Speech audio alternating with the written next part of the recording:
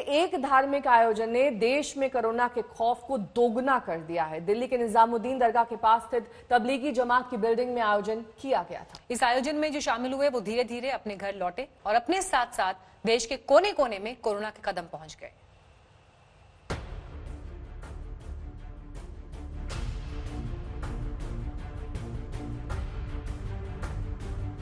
अचानक दिल्ली के निजामुद्दीन इलाके में हलचल बढ़ गई। Delhi police PWD, MCD, CRPF, medical team WHO की टीम की गाड़ियाँ दन दनाते हुए निजामुद्दीन दरगाह के पास तबलीगी जमात की बिल्डिंग में पहुँच गईं। पूरे निजामुद्दीन इलाके को लॉकडाउन कर दिया गया है। आसमान में ड्रोन लहराने लगे। टीटीसी की बसों में भरकर मरकज में ठहरे लोगों को दिल्ली के अलग अलग अस्पताल ले जाए जाने लगा। ड्रोन की सहायता से यहाँ पर अब हर एक गतिविधि पर नज़र रखी जा रही है। जमात के एक एक शख्स की ऊपर ऊपर की तरफ़ भी जाएगा, जहाँ पूरा चेक किया जा रहा है। तो ज़ाहिर तौर तो पर खतरा बहुत ज़्यादा है संक्रमण का, और जिस तरह से स्थिति पैदा हुई, उसको लेकर अब, जो प्रशासन है, काफ़ी अलर्ट है, और पुलिस भी इस पूरे मामले में कार्रवाई करने का मन बना रही है एफ़ दर्ज करने का मन बना रही लेकिन ये सब कवायद क्यों? कैसे दिल्ली के निजामुद्दीन इलाके पर कोरोना के एपिसेंटर होने का खतरा बढ़ गया है? कैसे मरकज की इस बिल्डिंग के तार पूरे देश में कोरोना फैलने की वजह बन रहा है? सबसे पहले ये जानिए।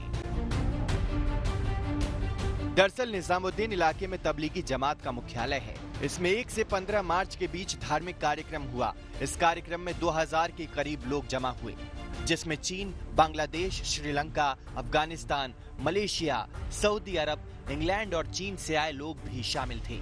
इनमें से कई लोग देश के अलग अलग राज्यों में गए।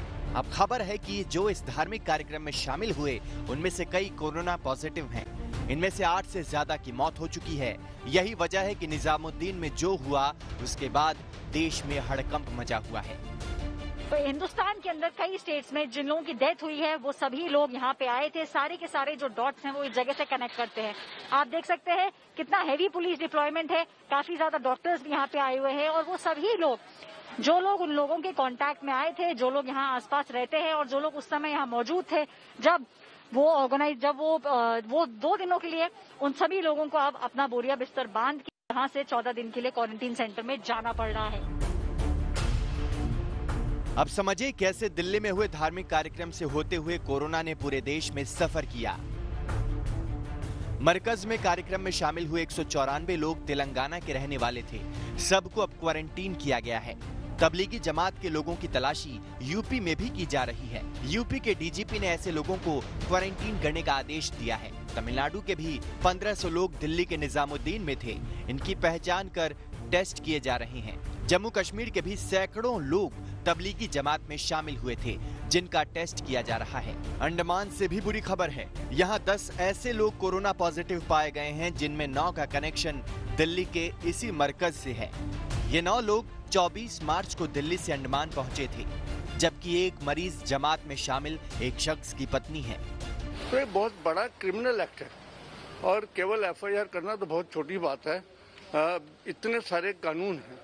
डिजास्टर मैनेजमेंट को लेकर इन्फेक्शन कंट्रोल को लेकर बीमारी को फैलाने के ऊपर इन सबको यूज़ करना चाहिए और सख्त से सख्त कार्रवाई होनी चाहिए। यहाँ से तबलीगी मरकज से बहुत सारे लोगों को एडमिनिस्ट्रेशन के लोग आए थे डब्ल्यू के लोग आए थे डॉक्टर्स की पूरी टीम्स आई थी दिल्ली पुलिस के लोग भी थे लेडीज़ पुलिस भी थी उन लोगों ने अंदर जाके उन लोगों को बाहर निकाला है। मेरी हेल्थ डिपार्टमेंट के जो ऑफिसर्स थे यहाँ पे उनसे बात हो रही थी।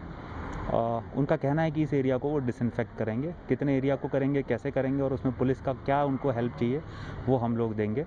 और ये डिटेल्स जो है वो उनके दिशा निर्देश उनके डायरेक्शन पे ही होगी।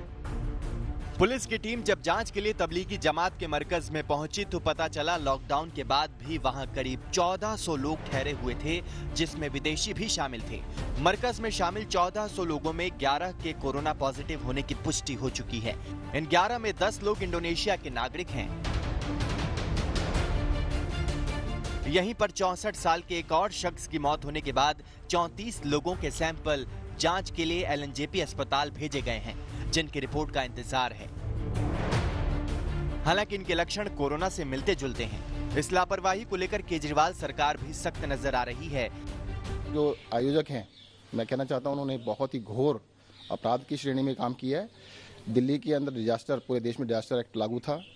आ, दिल्ली के अंदर कंटीजियस डिज़ीज़ एक्ट भी लागू था और पाँच लोगों से ज़्यादा का कंजेशन और कोई भी फ़ंक्शन अलाउड नहीं था, उसके बावजूद भी उन्होंने इस तरह का काम किया है।